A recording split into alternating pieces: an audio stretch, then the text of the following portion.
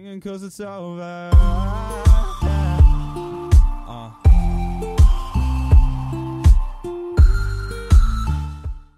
What's going on YouTube? It is your boy Voodoo for iPwn Studios and uh, I was going off today. You know, decided uh, I'm going to play solo. I'm going to try and get 100 kills. Got 101 within my first, mm, I want to say it was my first three games. Mm, give or take maybe two at the most. Uh, but I am fairly certain it was within my first three games. And, uh, you know, for once, the theater actually recorded my video, so I was able to get this gameplay and, you know, put it up on YouTube for you guys to check out. Uh, as you can see, I'm the head glitch god. You really, like, on that head glitch with even remotely good players. Uh, I don't know, man. No, it's not me. I, am just, I suck. I'm just messing with you. The Man-O-War is overpowered as hell. Um, and the trophy system setup really just uh, double redundancy. I'm actually running the trophy system not because I want to protect myself more, but because I'm using it for the, like the 50 points that it gives every time somebody throws a grenade at me and to stop smoke from hitting the beef dom, which actually works out pretty well for me. Um, and it actually gives me a ton of easy streaks from the actual trophy system assists.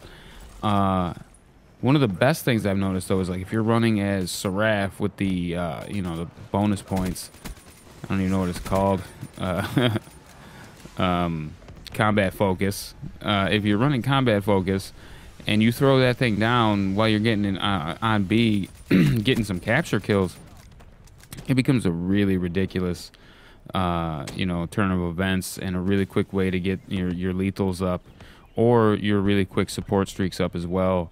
So keep that in mind, guys. I mean, it's it's amazing, you know, to be honest. Uh, but this was one hell of a game. Um, we even came back from the deep in the first round, as you can see, and just totally handed these kids their own ass cheeks. So that was cool.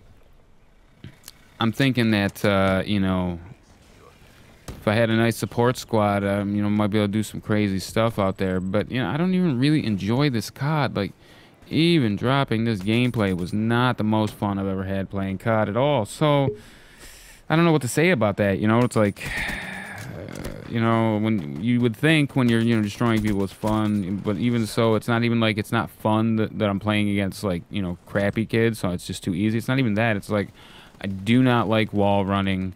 I really don't. I don't like the double bounce jumping. Um, I'd honestly say if people really like this, Titanfall would have been like a really popular game, and the Matrix shooters probably would have been really cool, right? But they weren't really. They were like okay games to check out, but they weren't really cool. So pay attention there, uh, guys. And Infinity Ward, please just give us ghosts again. Fix the spawn logic a little bit. That's what people really didn't like.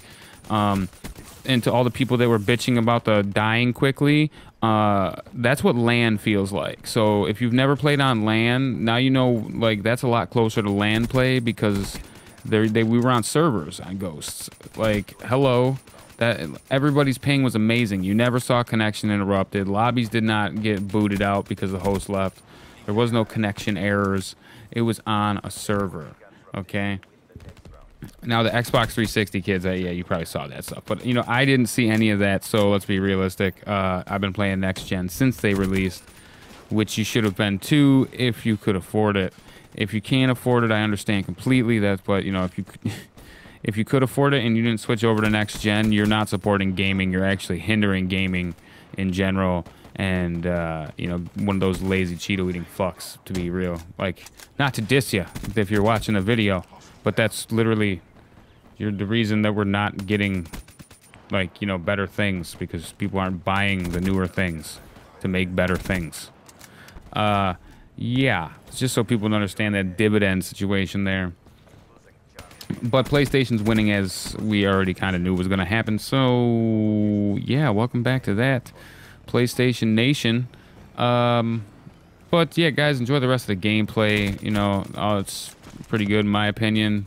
Not great or anything like that, but uh, for me, solo, it's pretty good. And uh, thanks for the follows, thanks for the comments, and thanks for subscribing.